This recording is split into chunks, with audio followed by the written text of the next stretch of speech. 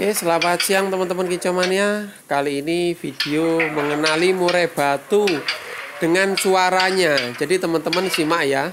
Ini gembung apa enggak kayak gitu. Ini adalah video dari salah satu teman kicomania. Om Sis, ini gembung apa enggak?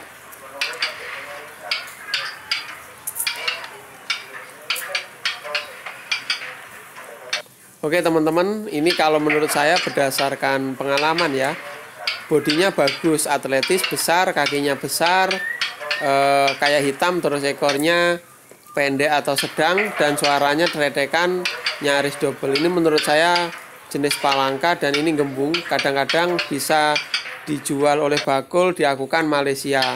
Malaysia Timur ya maksudnya. Seperti palangka kayak gitu. Oke teman-teman eh, jika ada kurangnya tulis di kolom komentar ini gembung apa enggak dan untuk teman-teman yang pengen gabung di grup telegram cek di deskripsi. Oke nantikan video berikutnya